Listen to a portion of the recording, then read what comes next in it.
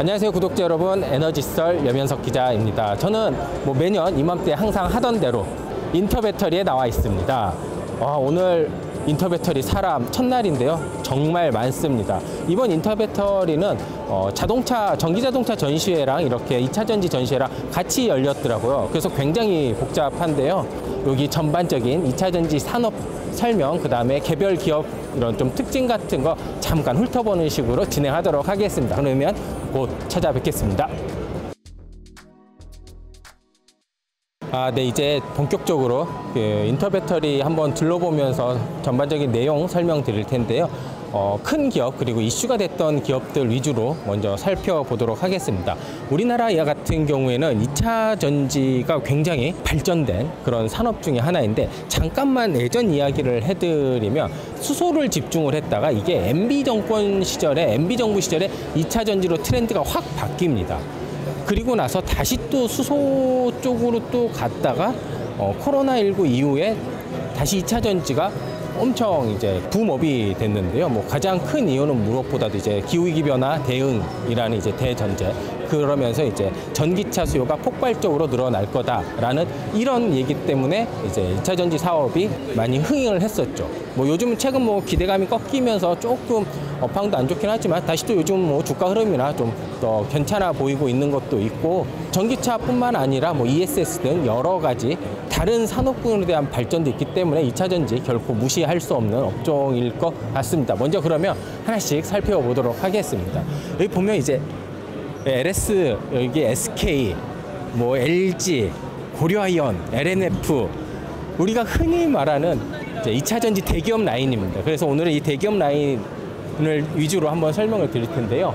먼저 SK온에 대해서 설명을 드리도록 하겠습니다. 작년에 저 나왔던 영상에도 설명을 했었던 거랑 크게 차이는 없는데 SK는 가장 늦게 시작한 겁니다. 그리고 SK가 유일하게 어, 인수 합병을 하지 않고 산업을 일으킨 유일한 산업 2차 전지입니다. 정유 같은 경우는 유공을 인수를 했고 텔레콤 같은 경우는 한국통신을 그대로 받아온 건데 2차 전지는 그대로 이제 자기네 자력으로 한 건데 아마 2012년 여름에 처음에 서산 공장을 오픈을 했습니다. 그때 이제 했었던 게 저기 보이는 이런 파우치형 이 파우치형을 그때 서산 공장에서 만들었었는데 그때 제 기억이 맞으면 SK의 최대 공격이 바로 벤츠였어요. SK 같은 경우에는 상대적으로 조금 늦게 시작하다 보니까 전기차보다는 과거에는 유럽 쪽에 ESS에 많이 진출하려고 노력을 했었어요. 하지만 다 이제 잘 안 됐고 그때 당시 한 1메가, 1메가 정도의 이런 ESS였는데 요즘 같은 경우에는 ESS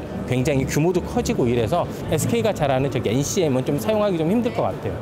요즘에 또 SK가 열심히 하는 분야 중에 하나가 여기 보이시는 바로 또 LFP 그리고 저기 하이니켈 ESS 화재 안전 기술 왜냐하면 이게 사실 어, 용량, 대량 생산 이런 것도 중요한데 2차 전지 산업 같은 경우에도 어찌 됐건 업력이라는 게 좀 있습니다. 조금 늦게 시작한 만큼 어, 조금 더 다양한 방식의 이런 것들을 많이 시도를 적극적으로 하고 있는 걸로 알고 있습니다. 네, 여기 보면 저기 Z 폴딩이라는 거 보이시죠?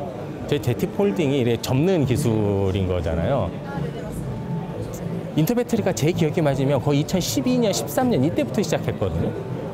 그때도 꼭 나오면 꼭 저게 있어요. 접는 거. 접고 휘고 하나 더 있었는데 접 접고 휘고 아무튼 하나가 더 있었는데 아직도 그거는 안 바뀌었네요. 우리 아직 LG 안 갔잖아요. 그렇죠? LG에 만약에 그 접고 휘고 있잖아요. 그럼 2012년, 13년 이때부터 전시해 놨던 거 그대로 있는 거예요. 있는지 한번 가봅시다, 우리. 우리나라 최대 2차 전지 기업이죠. LG 에너지 솔루션 부스에 왔습니다. 아, 여기 딱 역시 최대답게 바로 이런 거 하나 있네요. 여기 보시면 사실 차적인 측면에서만 말씀을 드리면 2차 전지가 밑에 있잖아요. 밑이 무겁다 보니까 아무래도 뭐 주행 안전성 이런 거가 되게 좋다라고 느끼시는 분들도 많이 있더라고요. 올해는 LG 에너지 솔루션 같은 경우에는 활용적인 측면을 조금 더 많이 집중을 한 것 같아요. 전시회를 보면. 아무래도 지금까지는 2차 전지가 얼마나 우리 기술이 뛰어나다에 집중을 했다 보면 이제는 아, 이런 거에도 많이 활용을 할 수 있다. 를 보여주는 것 같습니다. 여기 보면 대표적으로 제가 보기에는 저 용도가 진짜 좋은 것 같아요. UPS 배터리라고 이게 초창기 2차 전지 산업 에서도 많이 사용을 됐었어요. 원래 우리가 건물에 전기가 팍 나가면 어떻게 될 것 같아요? 잠깐 있다가 디젤 발전기가 돕니다, 보통. 근데 요즘에는 저렇게 UPS 장치, 그러니까 이게 긴급 복구 장치를 2차 전지로 해놓으면요, 바로 확 복구가 바로 돼요. 이게 훨씬 텀이 짧아서요. 요즘과 같이 컴퓨터 작업이 많고 이런 복잡한 여러 그 IT 제품들 보호하는데 훨씬 더 유용적이에요. 근데 단점이 하나 있죠. 비쌉니다. 이 뒤에 보시는 게 이게 ESS예요. 보통 보면 우리 컨테이너 하나 보시죠. 1톤짜리. 그 이게 보통 1메가라고 보시면 돼요. 그러니까 예를 들면 뭐 테슬라가 호주에 뭐 100메가 규모의 ESS를 했다. 그러면 컨테이너 100개를 놓는 겁니다. 이게 직렬 연결을 잘 안 하고요. 보통 이거를 열 100개를 딱 이렇게 층별로 이렇게 쌓아놓든지 옆으로 쫙 해놓든지 해서 이렇게 에너지를 저장하고 합니다. 여기 보시면 제가 말씀드렸던 게 저기 화면에 보이네요. 이게 grid style grid scale 배터리라고 해서 이게 지금 호주에서는 많이 있어요. 주로 그 호주의 여러 사막 같 사막인데 이제 도시 인근에 있는 사막들에 저렇게 ESS 저 옆에 있는 ESS 장치를 쫙 깔아놓는 건데요. 우리나라 같은 경우면 아마 땅이 좀 부족해서 층층층별로 했어야 되는데 호주는 쫙 깔아놨습니다. 봐 이렇게 해놓는 겁니다. 여기서 보면 저기 뒤에 보이는 게 태양광 발전소인데 태양광 발전소에서 나오는 전력을 다 앞에 ESS에다가 저장을 하고 옮기던지 아니면 거기에서 뽑아내는 거죠 전기를. 이게 어, 에너지가 가장 단점이 에너지는 운반하기가 되게 힘들어요. 그래서 우리가 석유를 많이 쓰거든요. 운반하기가 편해서. 근데 이제 이렇게 되면 뭐 손실률이든 뭐 이런 거 개선돼야 될 점은 많이 있겠지만 그럼에도 불구하고 어찌됐건 운반을 할 수 있고 저장을 할 수 있다라는 측면에서는 굉장히 어, 에너지 학적인 측면에서는 진일보한 이런 거가 될 수 있다라고 생각합니다.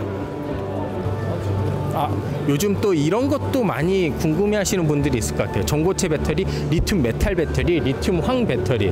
뭐 이런 것들이 많이 있을 텐데 미래의 2차 전지 산업의 트렌드는 무조건 하나, 아, 두 개입니다. 안전하고 고밀도. 그렇기 때문에 그 무조건 에너지 밀도를 높일 수 있는 방향성으로 발전을 하게 될 거예요. 그렇기 때문에 이제 전고체 배터리가 꿈의 배터리라는 얘기를 하는 거고 리튬 메탈 배터리 역시 그런 에너지 밀도를 조금 더 높이기 위한 하나의 방면입니다. 리튬 황 같은 것도 마찬가지. 왜냐하면 우리가 그 니켈이 보통 에너지 밀도를 높이는 가장 중요한 원소라고 얘기를 많이 하는데요. 리튬 황, 이 황이 니켈이랑도 되게 궁합이 잘 맞아요. 그러면서 안정적, 아, 되게 안정성과 밀도를 높여주는 역할을 하는데 여기 리튬과도 아마 궁합을 맞추는 작업을 지금 하는 걸로 저는 알고 있습니다. 네, LG 부스를 봤는데 접고 휘고가 드디어 사라졌네요. 아니면 제가 못 찾았을 수도 있는데 SDI에 왔습니다. 역시 SDI 하면 뭐 전고체를 가장 밀고 있죠. 우리 제드래곤 형님부터 해가지고 다 아주 열심히 밀고 있는 이런 올솔리드 배터리 그러니까 전고체 배터리인데 전고체 배터리가 좋은 점이 정말 많아요. 하지만 좋은 점이 있으면 그만큼 단점도 있는 겁니다. 싸고 좋은 건 없어요. 좋은 건 다 비싸요. 웬만하면 예를 들어 우리가 저 정도 크기의 일반 그 뭐 파우치형이 됐든 원통형이 됐든 그런 배터리 대비 전고체의 에너지 밀도는 훨씬 높습니다. 정확한 수치까지는 기억이 안 나는데 제 기억으로 따지면 물에 담는 것보다 고체에 담을 수만 있으면 에너지 밀도가 보통 두 배, 세 배 이렇게 높아지거든요. 근데 얼마나 되는지는 잘 모르겠습니다. 굉장히 높고 물론 무엇보다 고체가 되면 되게 안정적으로 바뀌어요. 우리 다이너마이트 혹시 기억나십니까? 예전에 다이너마이트가 니트로 글리세린의 액체를 이렇게 점토에 흡수를 시켜서 터뜨리는 건데 이게 액체 상태에서 되게 예민해요. 그거를 이제 고체로 만들면 안정성이 대폭 높아지는 거거든요. 우리가 폭탄 이렇게 빡 해도 잘 안 터지잖아요. 비슷한 겁니다. 배터리도 고체가 되면 훨씬 안정성이 높아집니다. 그렇기 때문에 이제 전고체가 꿈의 배터리라고 하는 게 에너지 밀도 좋죠. 안전하죠. 당연히 좋은 거죠. 하지만 뭐 아시다시피 너무 비싼 게 좀 단점이라고 하고 아직 개발까지는 오랜 기간 좀 남아 있습니다. 사실 2차 전지로 할 수 있는 사업들이 그렇게 많지 않아요. 그렇기 때문에 대부분 사업군도 다 비슷합니다. 이렇게. 이렇게 전지를 직접 만들든지 아니면 전지를 제조를 하든지 아니면 안에 있는 소재까지 전부 다 만들든지 이런 걸 해야 되는데 우리 3사 같은 경우에는 주로 이제 제조에 강점이 있는 거고 요 앞에 보시는 이제 뭐 고려아연이라든지 저기 뭐 에코프로 이런 곳들이 이제 양극재를 만드는 소재 소재 산업이 굉장히 이제 좋은 기업들의 하나죠. 여기 보시면 저기 전기 트럭을 전시를 해놓은 것 같은데 여러분 생각은 조금 궁금합니다. 과연 전기 트럭이 효용이 있을까요? 제 생각은 트럭은 전기차보다는 수소가 나은 것 같아요.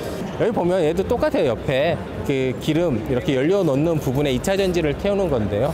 이게 제가 실제로 타보고 취재해 본 것 중에 예전에 그 전기 보트라는 게 있습니다. 그 유럽에 가면 노르웨이나 이런 제 기억이 맞으면 노르웨이나 스웨덴에 가면 그 이렇게 스칸디나비아가 이렇게 생겼잖아요. 여기 유럽이 있고 요 해협이 그렇게 길지 않거든요. 여기를 이- 왕복하는 전기 유람선이 있어요. 굉장히 큰 유람선인데 그거는 이제 100% 전기고 그 전기도 엄청 깨끗한 전기, 수력 발전에서 나오는 이제 청정 전기를 사용을 하는데 그 무, 그때 이제 물어봤었거든요. 이거를 그런 배터리를 어디다가 하냐. 뭐 여러 그런 벙커시유라든지 예전에 이런 거 넣었을 때 연료를 채워넣었던 공간에 많이 사용을 한다고 하더라고요.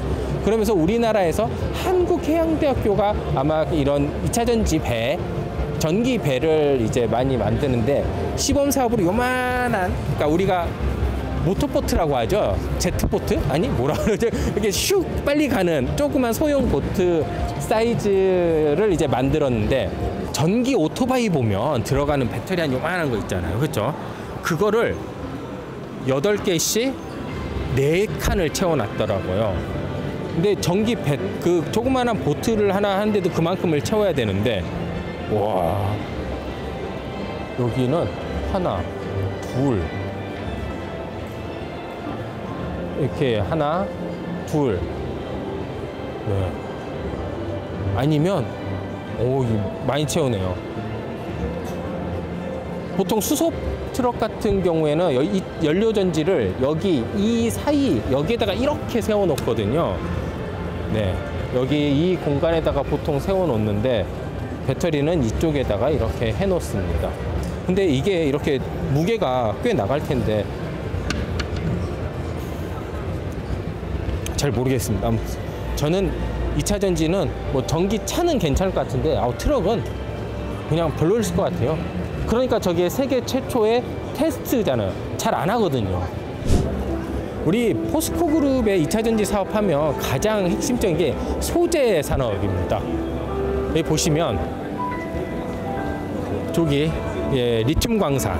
이제 리튬 광산도 두 가지 타입이 있죠. 염호 타입이 있고 광산 타입이 있고요. 그리고 이제 폐배터리 사업이 새로 시작을 했고 퓨처엠에서 양극재, 음극재 사업을 하고 있죠. 여러 이런 사업들을 하고 있는데 포스코의 음극 음, 소재 산업은 너무 조금 속도 조절을 조금 하는 게 저는 개인적으로 좀 더 좋다라고 생각을 합니다. 여러 가지 지금 이렇게 구색을 이렇게 다 갖춰놓고 있으니까 지금부터는 거기에서 실질적으로 매출도 일으키고 이제 숫자로 좀 보여줘야 될 때가 올해부터는 숫자로 본격적으로 좀 증명을 해야 되는 때가 아닌가라는 생각을 합니다. 왜냐면 포스코 같은 경우가 그룹의 매출의 70%? 6, 70%가 아직도 철강에서 나옵니다. 그만큼 이제 철강을 이용한 다양한 철강 이것도 베이스도 이제 재련, 재강 이런 거잖아요. 다 여기에서 소재 만드는 것도 비슷한 거거든요. 그만큼 경쟁력이 있고 소재도 하고 광물 사업도 하고 많은 방면에서 노하우가 있으니까 아마 포스코 그룹이 하는 이런 2차 전지 소재 사업 같은 경우에는 저는 굉장히 가능성 있는 한 분야라고 생각을 합니다. 근데 그거는 있어요. 이게 리튬을 하는 게 저렇게 염호에서 리튬을 만들든 광산에서 리튬을 캐든 그렇게 친환경적이지는 않습니다. 저게. 그래서 사실 이런 말도 있어요. 2차 전지로 전기차를 만들어서 가는 게 일단 전기도 깨끗하지 않고 만드는 과정들도 이렇게 별로 깨끗하진 않거든요. 하지만 그거는 이제 과정의 일부분이라고도 얘기도 많이 하기 때문에 조금 더 깨끗하게 좀 만들 수 있는 여러 기술이라든지 자본 투입 뭐 그런 쪽으로 좀 가면은 좋지 않을까라는 생각도 듭니다. 올해도 인터배터리를 한번 와봤는데요. 올해도 역시 이렇게 큰 대기업 중심 그리고 이제 조금 유명했던 기업들 중심으로 여러 이야기들을 좀 해봤습니다. 근데 인터 배터리는 확실히 어, 우리나라에서 펼쳐지는 여러 전시회 중에 가장 어, 돈이 되는 전시회 같아요. 여러 이제 외국 분들도 많이 오고 실제로 여기에서 이루어지는 계약건도 많다고 합니다. 근데 아, 이게 돈이 되는 거라서 그런지 되게 불편하게 해놨네요. 예전에는 친절하게 1층에 넓게 이렇게 잘 해놨더니 이번에는 다 층층이 나눠놓고 제일 핵심인 이 관은 3층으로 올려놨네요. 뭐 돈이 되니까 알아서 잘 찾아오니까 그랬겠죠. 아무튼 지금까지 봐주셔서 정말 감사합니다.